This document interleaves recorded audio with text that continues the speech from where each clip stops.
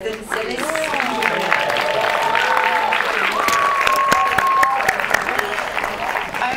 so thrilled to see you all tonight, and we have the great honor of having the co-director of Ernest and Celestine, Jean-Christophe Roger, here with us. So, huge round of applause.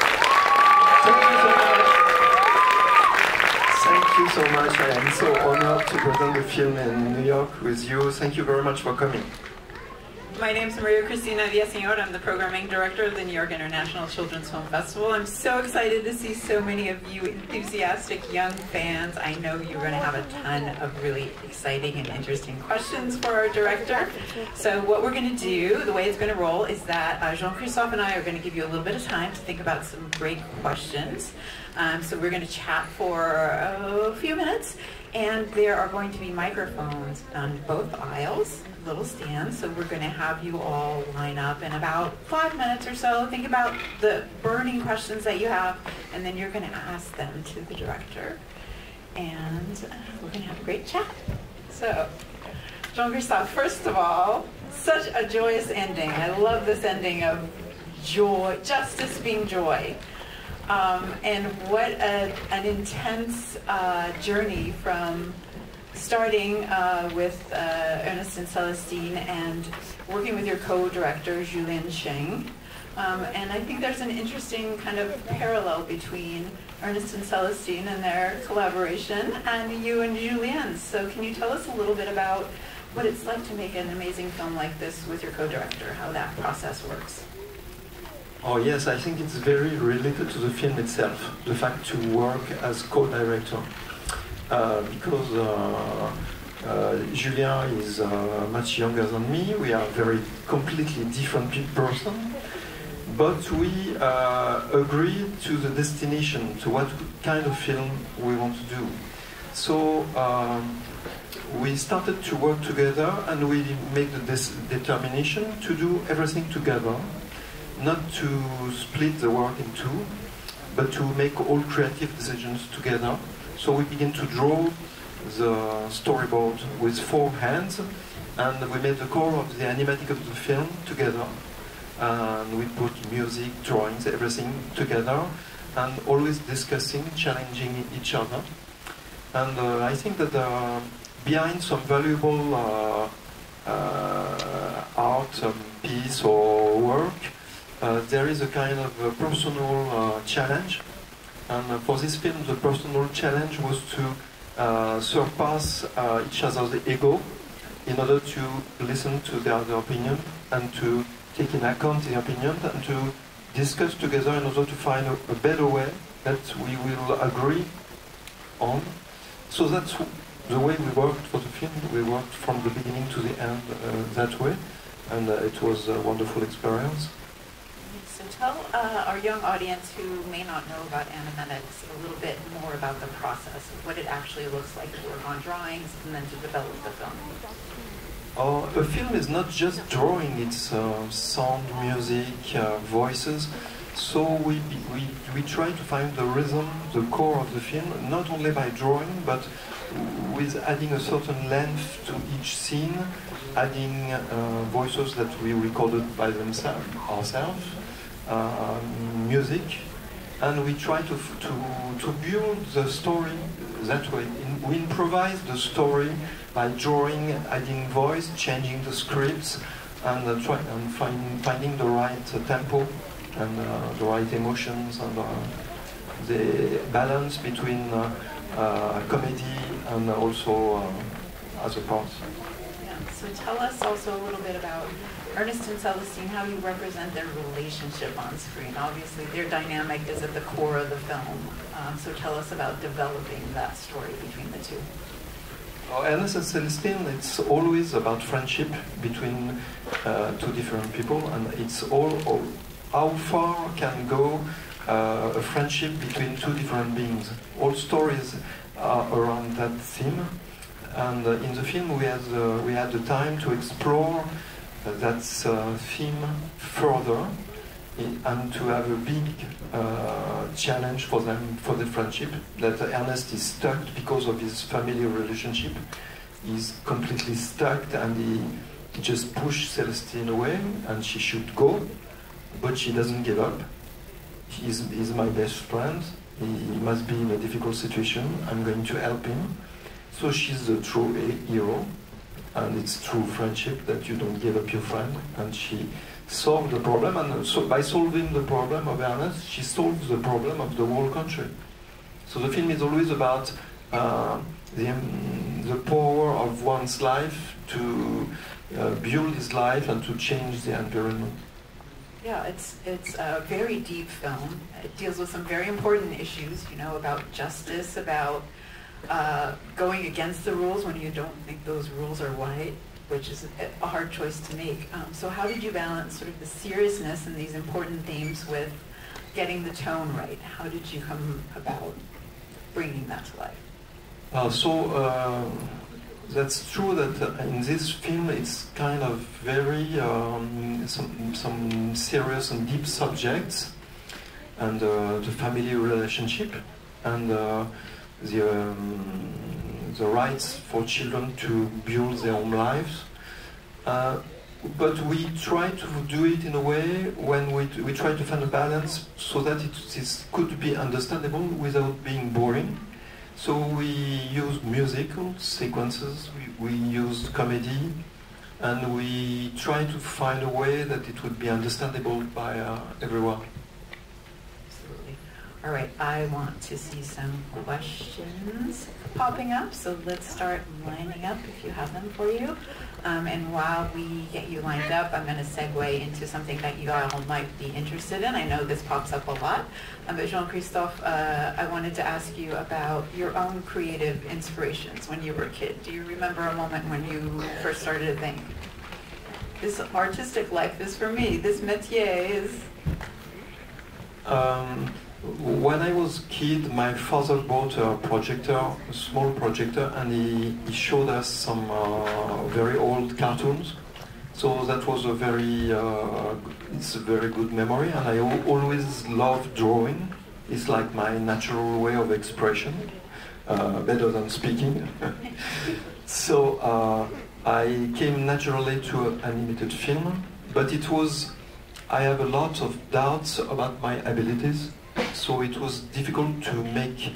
There is there was one moment I made the determination to become a director, to tell uh, stories and to do films for a young audience, in order to inspire a young audience. So there was a really uh, uh, determination for me, and that was the start of everything. Amazing. Okay, one last question, and then I'm going to go to your questions why do you think it's so important to tell stories for young audiences? Why have you dedicated your career to films for young audiences?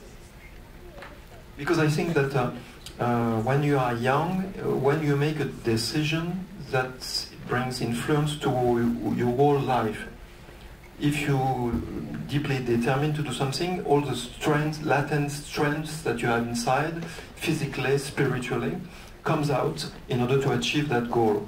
So it's very important to make decision and to believe in your own potential. And this is the subject of the film, in fact. So uh, I don't know how it is here, but in, uh, in my country, sometimes uh, young people are not always encouraged to develop themselves. It's common say that uh, it's better to find the safe way, that uh, it's too difficult. So uh, people are discouraged, but to tell the truth, the future lies in the hands of the young people.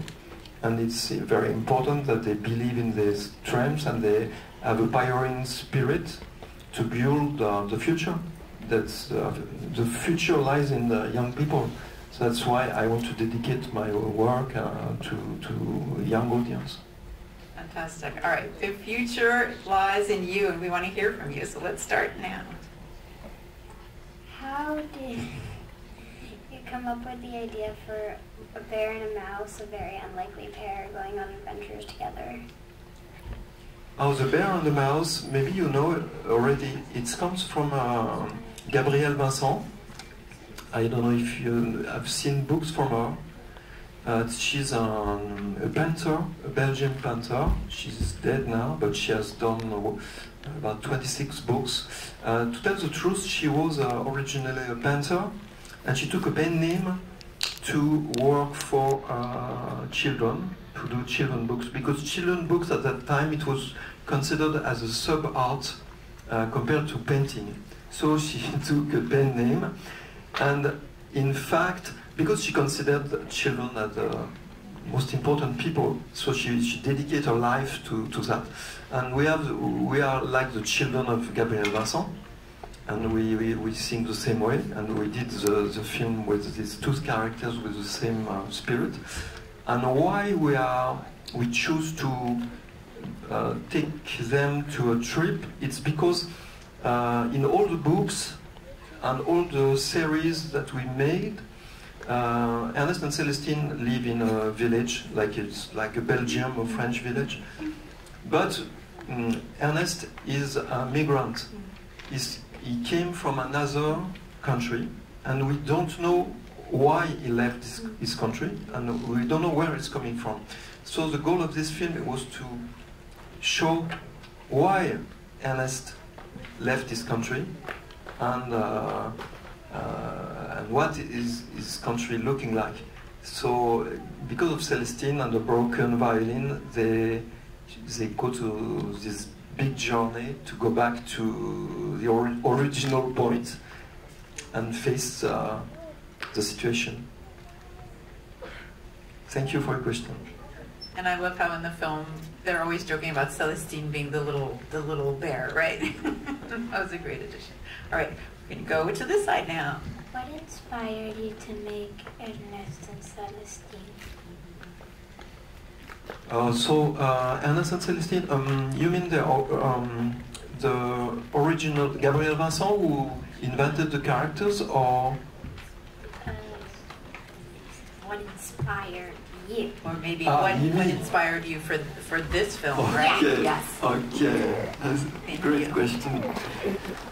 Well, uh, in fact, it's uh, there is a lot of unconscious inspiration, and uh, that we you you don't know. For example, in the film, you can see that uh, the birds the birds sing. They are the only people making uh, various notes in the in Gibberitia. So the color of the birds are blue and uh, yellow, which are the colors of the Ukrainian flag, and the country a little bit looks also like. Uh, so I have worked in Ukraine, and I also I have uh, previously uh, shown my last film, which was also Ernest Celestine in uh, in Russia, and I got lots of inspir- inspiration from that uh, experience and we unconsciously we, we put all these things in the film. So there are lots of experience, personal experience that we used, like for example the, the journey to Berisia. It's inspired from uh, I made a trip when I was young to uh, from the northern areas of Pakistan to China for the Karakoram area, and it's completely inspired by my personal uh, journey.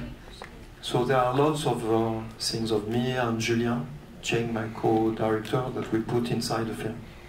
For example, the the the, the, prison.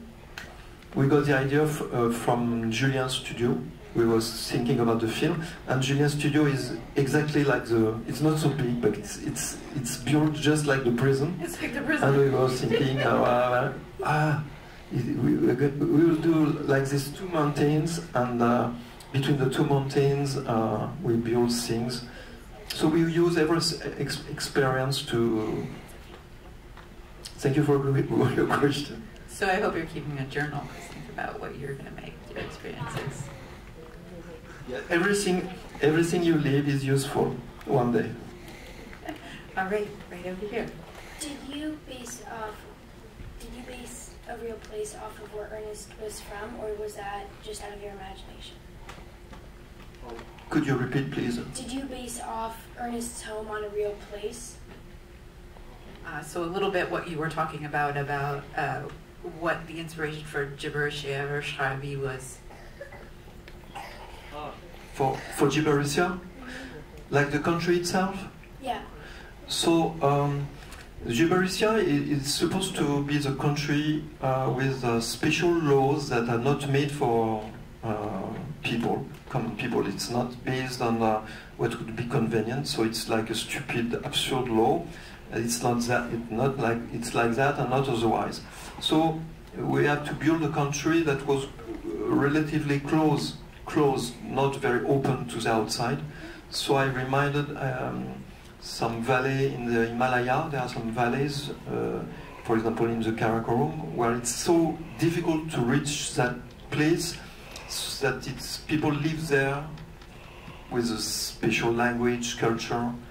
So, I, so I took that um, that inspiration to build uh, like a country between very in the middle of uh, high mountains and uh, the architecture comes from various inspiration, like for example in the in Georgia, in Tbilisi there are some old uh, areas and uh, with balcony and wooden houses. So it's uh, inspired by this. Also uh, in the Cappadoce in Turkey, we took various inspiration and tried to build a, a unique uh, environment for the bears. It's always with rocks and, and woods and uh, things like that. Does it answer your question? Yes. Thank you. Here we have a question. How did you um make the characters of Ernest and Celestine? Ooh, are you interested in like how they uh, came through the animation? No, how they got their character. So I think um, Gabrielle Vincent, who created the character, I think she took inspirations from people she knew. Like Ernest is supposed to be uh, someone that uh, Gabrielle Vincent knew personally, and someone who, someone who's coming from Eastern Europe countries. So she also used uh, inspiration from her home life, her home friends, and uh, Celestine. I don't know exactly why she. Uh, that's it. She's coming from. But uh, the idea was to uh, make a story about diversity and to have two friends completely different. That's a, a big bear uh, that eats everything, and a small kind mouse, uh, very cute with lots of imagination. So the idea was to have a, a, um, an inseparable duo between two characters totally different. Is it okay? For, Yes. I have a quick question building on that. That was a very good question. I want to know about um, Celestine and then Mi Fa Sol. I think it's really interesting that these two female heroes are really at the center of the story. So tell us a little bit about developing Mi Fa Sol. Originally, Mi Fa Sol, it was not the, the sister of Ernest we changed the script so much that was, they recognized what's what's happening. It's, uh, it was a surprise. So the idea um, the idea was to build um, for me and, and Julien, uh, and Celestine. It, it is not because it's a film for uh, a young audience that we should not have deep um, uh, characters so for us, it has to be completely re realist, believable that Ernest gave up Celestine to become a judge because it's it's uh, almost impossible to believe that he will accept to become a judge. So we have to be completely stuck in a situation that he is obliged to say yes because his sister is in prison and uh, the whole family will destroy because of, of him. And also he feels responsibility, responsible for the, the, the music being prohibited. So he feels all this responsibility. So he, he is completely stuck in a situation that he, he, he comes to uh, break with his best friend. So because of that, we made Mi Fa Sol be his sister. Because she's the hero, she's the resistant, but she's the daughter, and that, and that makes sense that Ernest wants to save his uh, sister, and that also makes sense that the sister, the, the Mifa, um, Mifasol, Mila, she will save her father at the end. So that makes that that uh, complete, uh, complete. It makes the story complete in the family. That uh, everybody kind of has their bravery and is a hero on one. And uh, overcome their yeah the weak points. Mm-hmm. Lovely. Okay, we have a question. The characteristics of Ernest and Celestine are they based on anyone in particular? Oh yes. Uh, I, what I know, from what I know, Ernest comes from uh, a person that Gabrielle Vincent, the, the author of the books, knew, and maybe she loved that person. Uh, it's not. I, am not uh, in her in her uh, heart, but uh, it said that it's some somebody that comes was important for her. Okay, we're going to try to speed through a few more questions because we're starting to wrap up our time soon. Yes. So, um, why are they blocking music, especially like why music? Um, well, why don't they like music? Like, well, music it symbolizes the, the freedom, the expre expression of oneself through uh, art, and it's. Uh, music is very important in, in, a, in a film itself. So uh, we use the music to make um, nice musical moments where you, you, you feel like dancing. And also we can use the, the music being prohibited for comedy, like uh, people playing uh, concerto with only one note. So it talks about uh, autocracy, but in a funny way if, if, if there was no music at all, it, was, it would be just sad. But it's it's ridiculous because you can just play one note, so that makes the thing funny. So we use the music for several, you know, several ways to, to build the film. In fact, we worked with the composer. It's a very good question. It's, we worked with the composer from the beginning of the, of the work. Just me, Julien, and uh, we discussed with the composer, and he started to build to make the music from the very beginning, to incorporate in the animatic.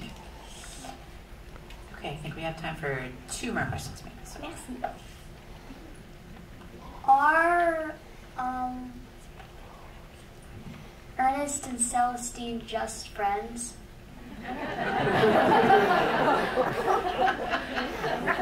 Whoa, what a question. We're going deeper and deeper.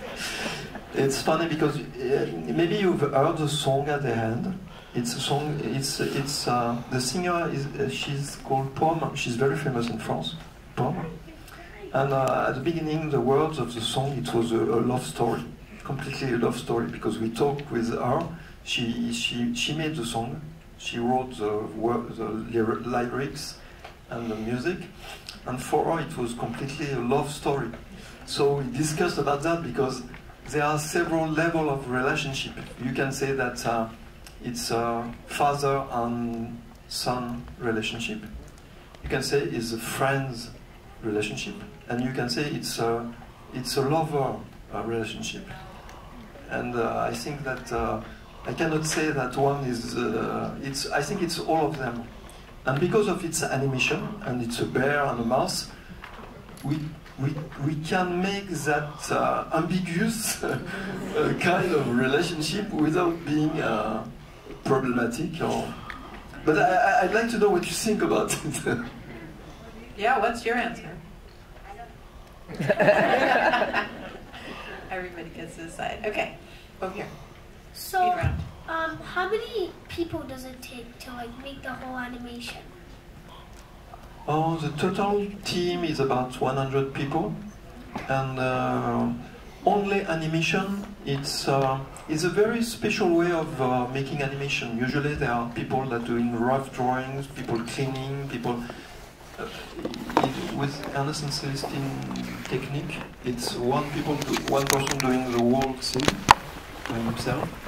So we have about maybe 25 animators, uh, women and men for the animation itself. Thank you. All right, I saw you two waiting so patiently. Do you think you can gang up and ask your questions quickly? Let's start with you in turquoise.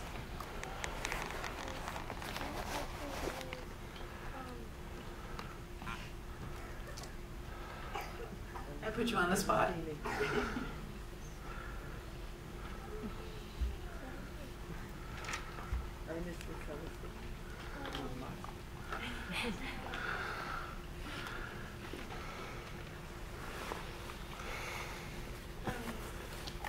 Were they like what was their life before they were friends? Like, Oh, the backstory. That's a good question.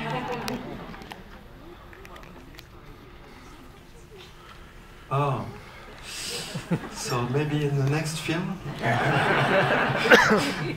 uh, have you seen the, the first film or, or no? No. In the first film, uh, the meet, there is uh, the, the meeting between Ernest and Celestine before they know each other.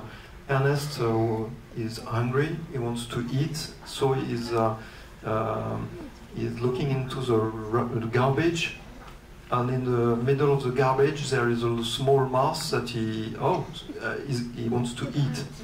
And the mouse says no no no no you are not going to eat me. What are you doing? So that's the way that's how the, the friendship uh, began. So and we don't know exactly the background of celestine. We know she's an orphan uh, an orphan. That's uh, there was a book of uh, Gabrielle Vincent about that story but we don't know precisely more things. But maybe in a future film. How do you choose like what they should say? Wow, great question. Uh, oh, la it's, uh, uh, first of all, there is a script written, approved by a producer, distributor, and, uh, and we start to work with this, this script. But when you, we do animation film, it's not really working that way. It's a visual a film. So we draw the story and we change it because it doesn't work. Uh, a script is a script. So sometimes we, you, you, we have to, to change and to find a way to tell the story. Sometimes there is a written uh, full sequence of dialogue, and when you see in the film, for example, when, when Ernest is depressed in the beginning, when the violin is broken, there is a whole sequence without any dialogue, and it tells the story that Celestine determined to go to Gibberitia. There is no dialogue. It's only written by uh, scenes uh, and music. So it's the music and the drawing that tells the story. So when you we worked on the on the on the, on the film, we try to find the best way to tell each story. So sometimes we change the dialogue, sometimes we didn't change, sometimes we remove dialogue and we put music.